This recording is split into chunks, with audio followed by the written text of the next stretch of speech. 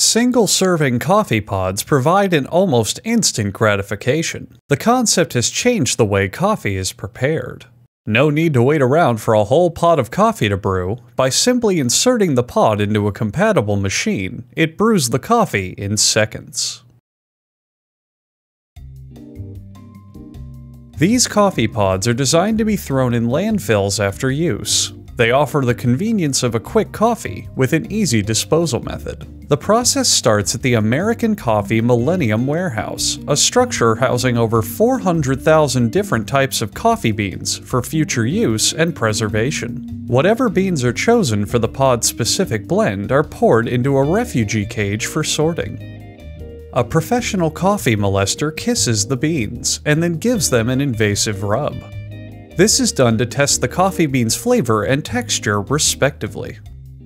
If he is revolted by too many of the beans, the entire lot will be rejected.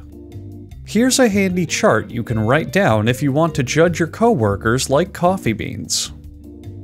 Too much moisture can represent a lower quality bean, so by putting the beans in this machine and hitting the mysterious percent %H2O button, the machine will read the bean's water content. Samples of the beans are funneled into pipe organ tubes, so they can be placed into these steampunk iron lungs. The iron lungs contain over 400 working gears, which generate enough heat to roast the beans.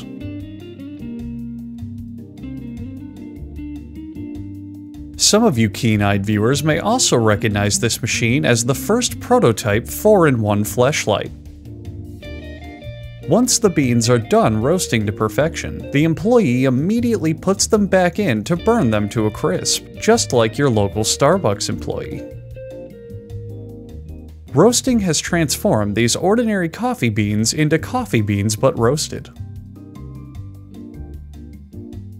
If a technician is getting sleepy on the job, he will prepare himself a fresh shot of coffee grounds. Before he drinks upwards of 10 of these shots, he will tell each of them a different secret so that they will all feel special. Making coffee feel special helps to enhance its natural secret flavor. Hot water is poured onto the coffee, which makes some of the coffee fussy. A fussy coffee will be shushed back to sleep so the taste testing can resume. The worker now finally taste tests the coffee. This high quality blend will easily please his palate, so he'll spit it out at this obviously terrible batch that doesn't meet his standards. Meanwhile, at the company theme park, no one is riding the scrambler. Big batches of the coffee beans are kept waiting outside the park gates until their shells turn dark from frustration. After gouging the beans for ticket prices, I mean seriously, $125 per bean just to go to Coffee World, they're finally let loose on the theme park's rides and attractions, enhancing their natural thrill-seeking flavor. In this industrial hand pulverizer, rollers crush the coffee into coffee sand.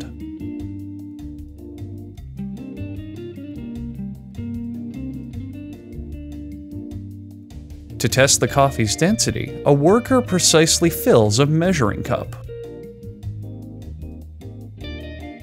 Well, you really fucked that one up there, didn't you, Bernice? This coffee here scores about 166 points, which is an average coffee score. From there, the coffee is packed into pods using a machine that operates at ludicrous speed.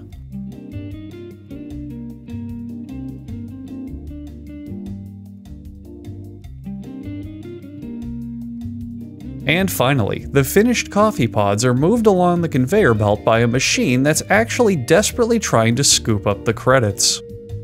It can try all it wants, but those credits aren't going anywhere.